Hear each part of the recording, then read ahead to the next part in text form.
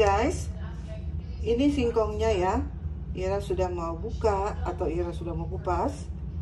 Dan Ira sedang berpikir apakah Ira mau kukus saja, ya, mau dibuat dikukus dan dimakan pakai sambal atau Ira mau goreng atau Ira mau parut lalu bikin apa teman-teman bikin apa coba bisa tebak nggak teman-teman? Bisa bikin apa? Oke, bisa bikin apa? Ayo, ayo tebak, ayo. Saat Tira hitung ya sampai lima. Satu, dua, tiga, empat, lima. Bikin apa coba teman-teman? Bikin opak teman-teman. Ya, Ira udah lama nggak bikin loh udah waktu di Indonesia pernah ada uh, ada uh, ya uh, yang suka bantu-bantu aku ya di sana di Jakarta. Dia bilang dia bisa bu buat itu opak. Jadi akhirnya kita buat pertama. Nah ini kalau Ira mau buat opak ini adalah kedua kali. Tapi Ira sendiri ini bikinnya gitu loh teman-teman. Do you have any idea for bikin opak? Coba ya teman-teman. Coba kasih tahu deh sama aku bagaimana. Oke, Ira tunggu ya. Oke. Continue to watching me. Bye. Hai guys. Apa kabar semuanya? Jumpa lagi dengan Ira Wickers di sini di YouTube channel Ira. Kali ini teman-teman, Ira mau membuat apa coba? Ira mau membuat opak. Sudah lama sekali Ira tidak membuatnya dan Ira lihat teman dan saudara sudah membuatnya. Saya tidak kebagian, nggak dikasih. Jadi Ira bilang iya deh, entar Ira mau beli sendiri uh, singkongnya terus Ira mau coba buat gitu loh. Jadi sekarang ini Ira sudah beli singkongnya dan Ira sudah uh, kupas dan Ira mau olah gitu loh ya. Ikutilah teman-teman.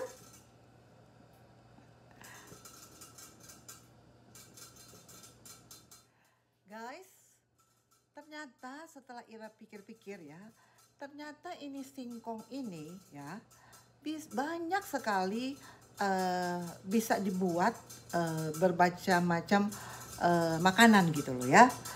Nah opak ini salah satu uh, yang bisa dibuat itu sejenis kerupuk ya. Nanti setelah dikukus, direbus, da, I mean dikukus dan dijemur, terus digoreng, terus ditaruhin gula merah ya. Terus juga bisa bisa dibikin lemet gitu loh ya teman-teman. Uh, teman-teman tahu ya uh, lemet itu apa, seperti apa ya kalau di orang-orang Manado pasti tahu deh ya lemet itu seperti apa terus juga bisa dibuat apa coba dibikin uh, uh, direbus gitu aja terus dimakan atau dikukus bahkan uh, bisa digoreng dan banyak sekali kegunaannya gitu loh teman-teman teman-teman Ira sudah lihat perlihatkan kan tadi singkongnya seperti apa ya yang belum dikupas. Nah, sekarang Ira sudah kupas dan Ira sudah haluskan ya. Ira sudah haluskan seperti ini.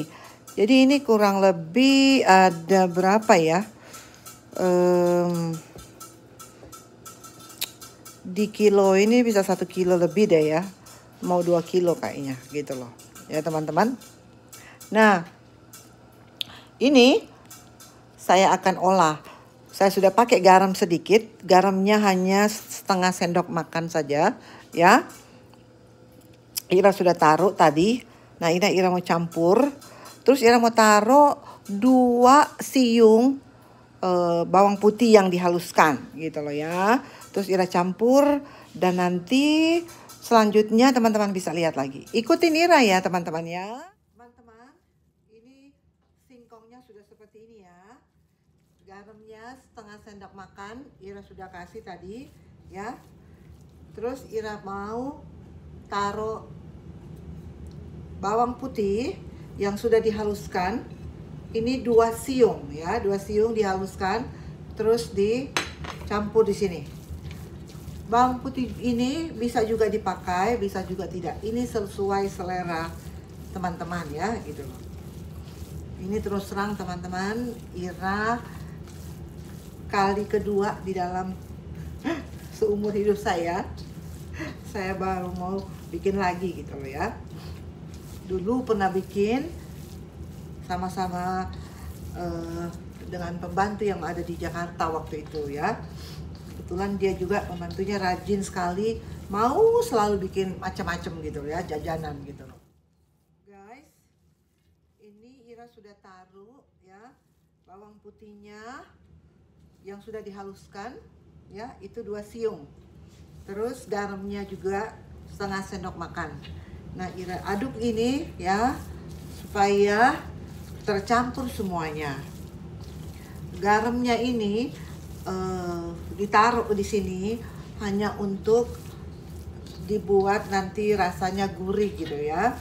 Bukan untuk berasa sekali garamnya. Nanti nggak enak ya. Terlalu asin ya.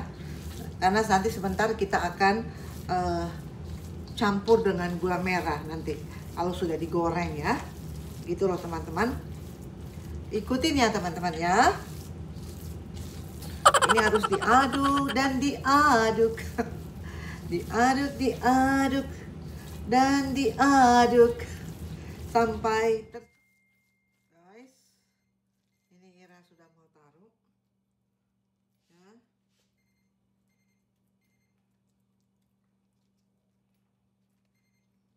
mesti ditipis-tipisin.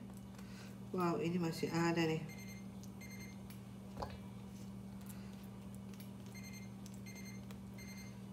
masih ada juga nih.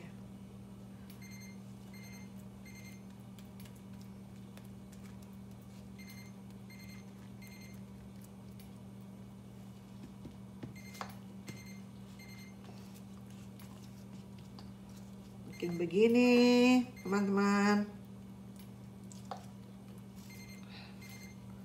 Itu mesti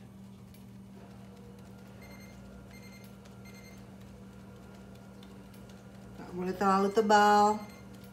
Ya. Harus tipis.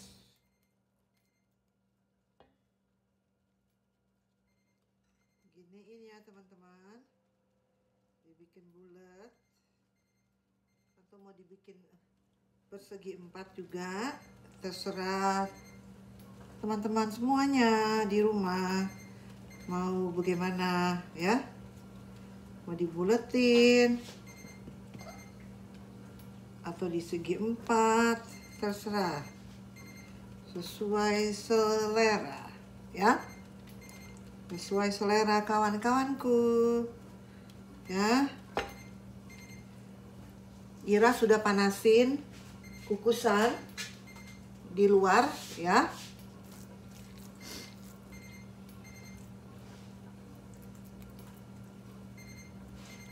Nanti kukusnya di luar supaya cepat.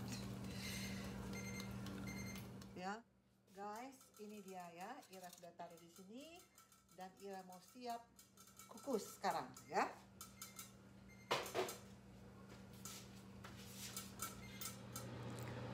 Hai guys, teman-teman tahu ya proses pengukusan ya sengaja Ira sudah tidak uh, perlihatkan karena pasti teman-teman mengetahuinya dikukusnya pakai apa ya. Dan proses pengeringan atau penjemurannya sudah dilakukan dan ini hasilnya seperti ini. Opak-opak op, opak Ira ini ya. Opak buatan Ira. Aduh teman-teman ini kenapa jadi bagus sekali ya? Karena Ira dapat singkong yang bagus gitu ya dan segar, tidak ada hitam-hitamnya gitu loh. Jadi sangat bagus dia jadinya kan seperti begini gitu loh ya. Ini ada yang seperti begini ya.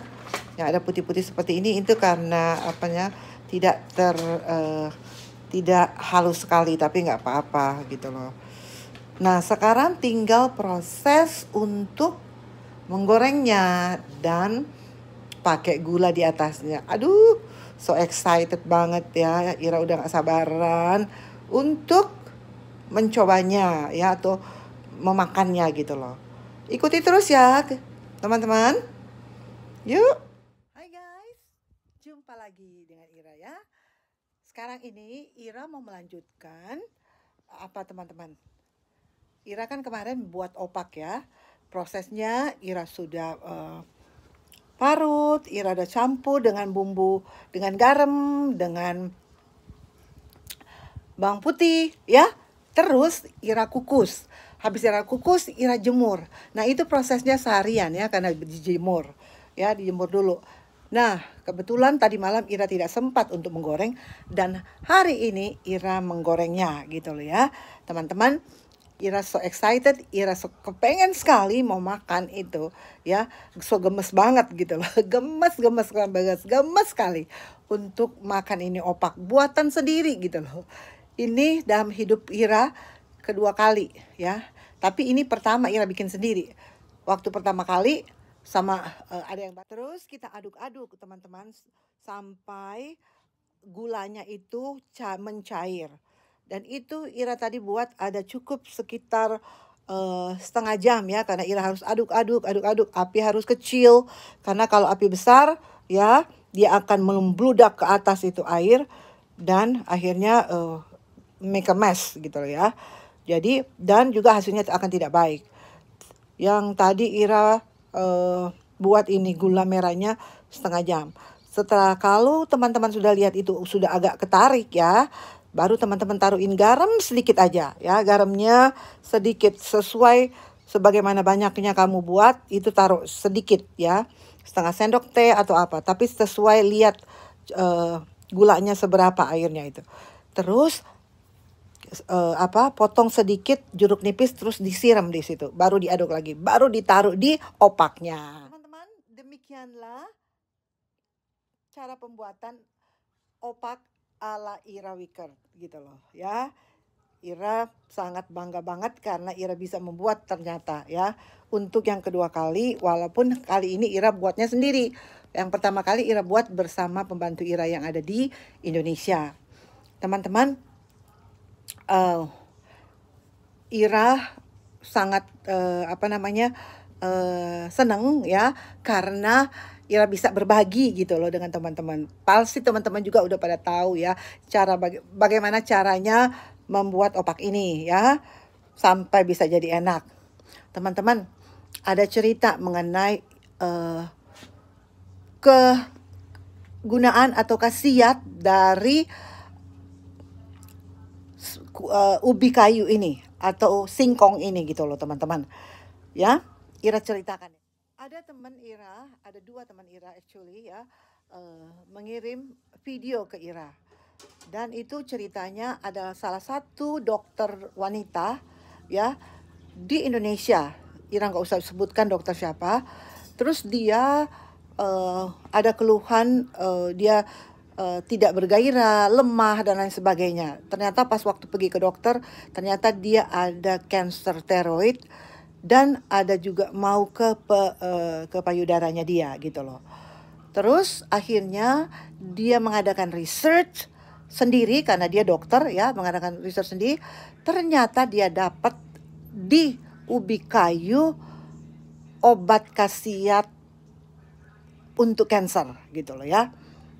Dan dia mengujinya dengan dirinya sendiri gitu loh. Jadi dia mengkonsumsi setiap hari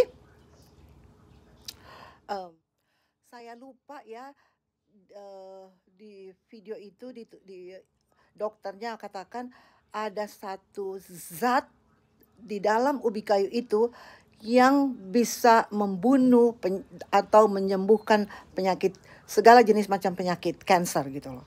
Jadi akhirnya dia uh, mengkonsumsi ubi kayu itu setiap hari. Entah itu dia goreng, entah entah entah dia rebus atau dia kukus atau dia bikin eh, kue-kue apa saja. Tapi dia menggantikan makanannya itu dengan ubi kayu saja gitu loh. Dan itu dia lakukan selama tiga bulan ya. Setelah tiga bulan dia kembali lagi ke dokter yang memeriksa dia bahwa dia mendapatkan penya uh, ada penyakit kanker Dan ternyata teman-teman, kanker yang dia uh, alami ya hilang. Dokter katakan kepadanya ke kepada pasien yang dokternya ini juga ini ibu ini dia bilang e, ibu makan obat apa gitu loh. Akhirnya dokter bilang saya riset saya riset sendiri dokter ya dan saya mendapat hasilnya dan saya memakan mengkonsumsi setiap hari pagi siang sore dengan ubi kayu gitu loh ya. Tapi ubi kayunya teman-teman harus katanya yang putih bersih tidak ada bercak-bercak hitam yang asli sehat itu katanya ya mentah itu uh, ubi kayu mentega. Kalau di Manado ada ubi kayu mentega. Yang penting tidak ada bercak-bercak hitam ya. Yang penting dia uh, uh, uh, bersih dari uh, apa gangguan-gangguan dan ternyata ya boleh dikatakan ubi kayunya itu sehat. Sehingga dia bisa mendapatkan menghasilkan zat yang baik gitu loh. Nah, teman-teman, Ira sangat uh, apa namanya uh, open mind ya uh, membaca atau me menyaksikan kesaksian dari dokter tersebut.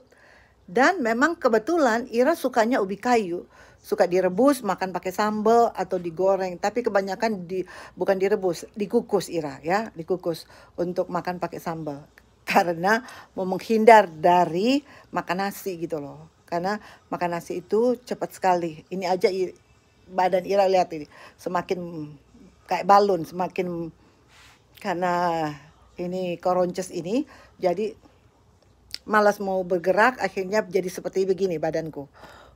Teman-teman jangan sungkan-sungkan apalagi di Indonesia singkong itu sangat murah konsumsi terus singkongnya ya ubi kayu itu. Pasti kalian semua akan terhindar dari macam-macam penyakit. Dan terutama pikiran kita harus sehat apa pun keberadaan kita ya. Banyak sekali persoalan kita ataupun sulit untuk kita uh, apa kita keluar dari persoalan itu jangan pernah stres jangan pernah depresi. Tidak ada uang pun jangan stres. Kita berdoa sama Tuhan supaya Tuhan berikan akal budi hikmat dan kita bisa mendapatkan uh, pekerjaan lain supaya kita menghasilkan uang. Bukan begitu teman-teman? Ira berharap pasti teman-teman juga pada tahu ya tapi Ira mau uh, kasih pesan sedikit supaya kita nggak usah khawatir dengan hari esok ya. Berdoa saja segala persoalan dengan suami, dengan istri, dengan anak-anak, dengan mertua, dengan ponakan, dengan uh, mantu atau dengan siapa saja. Datang kepada Tuhan dan berdoa teman-teman ya. Untuk itu teman-teman, teman-teman pesan Ira ya. Be happy, gembira, tertawa terus-terus ya. Bukan biarin aja orang membilang kita orang gila tapi kita tahu nggak itu? Tertawa itu juga obat teman-teman supaya kita apa? Kita itu mendapatkan kesehatan yang sempurna dari Tuhan ya enggak gitu lah. Aduh maaf ya Ira udah berkhotbah. Oke teman-teman thank you for watching. Ira berharap teman-teman mau mencoba. Kalau teman-teman ada Ira bisa share dengan uh, dengan teman-teman ini opak ini ya. Teman-teman Semoga teman-teman bisa mencobanya di rumah, pasti juga lebih enak dari apa yang Ira buat ya. Salam bahagia, salam sejahtera, salam sehat ya. Kiranya Tuhan memberkati kita semua. Sukses untuk semuanya teman-teman di mana pun berada. Bye-bye now. God bless you all. I love you guys. Ini teman-teman, Ira mau makan dulu ya maaf loh bukan mau bikin ngiler tapi Ira mau cuma mau sharing aja sama teman-teman nih. Ira makan nih.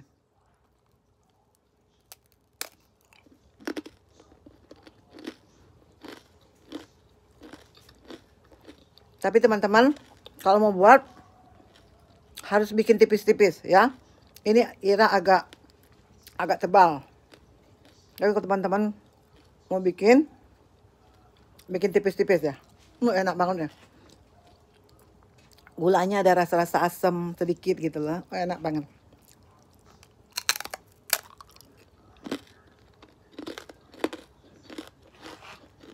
Gulanya udah udah kering. Jadi waktu mau taruh dalam kondisi uh, cair ya gulanya. Sampai jumpa di another content era atau another vlogs era ya. Bye.